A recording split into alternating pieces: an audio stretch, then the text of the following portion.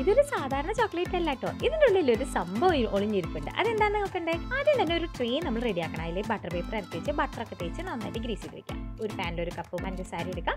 ആ കപ്പ് തേൻ ഒഴിച്ചിട്ട് നന്നായിട്ടൊന്ന് കാരമലൈസ് ചെയ്തെടുക്കാം കേട്ടോ. ചെറിയ തീയിൽ വേണം ചെയ്യാൻ. അങ്ങനെ കാരമലൈസ് ചെയ്ത് വന്നിട്ട് നമ്മൾ തീ ഓഫാക്കി ഒരു ടീസ്പൂൺ ബേക്കിംഗ് സോഡ ഇട്ട് നന്നായി മിക്സ് ചെയ്യാം ഇത് കണ്ടോ? നന്നായി പതഞ്ഞു പോകുന്നുണ്ട്. ഇത് അപ്പം തന്നെ നമ്മൾ ആ ട്രേയിലേക്ക് ഒന്ന് ഒഴിച്ചു കൊടുക്കാം. ഇളക്കാനോ തൊടാനോ പാടില്ല കേട്ടോ. ഒരു മണിക്കൂർ സെറ്റ് ആവാനായിട്ട് വെക്കാം. സെറ്റ് ആയതിനു ശേഷം നമ്മൾ കത്തി കൊണ്ടോ അല്ലെങ്കിൽ നമുക്ക് കൈ കൊണ്ടോ മുറിച്ചെടുക്കാം കേട്ടോ. അങ്ങനെ നമ്മുടെ സംഭവം ദാ കണ്ടില്ലേ? ഒരു തേൻ കൂട് പോലെ. അത് നമ്മൾ മിൽക്ക് ചോക്ലേറ്റിലോ ഡാർക്ക് ചോക്ലേറ്റ് നമുക്ക് പൊഴിഞ്ഞെടുക്കാം കേട്ടോ.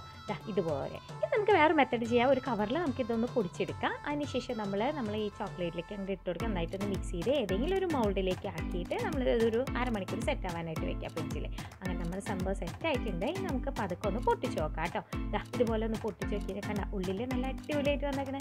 ഇനി നമ്മൾ നേരത്തെ പൊട്ടിച്ച് വെച്ചതും ഒന്ന് പൊട്ടിച്ച് നോക്കാം. കണ്ടോ? അപ്പോൾ ഈ ചോക്ലേറ്റ് ട്രൈ ചെയ്യാം കേട്ടോ.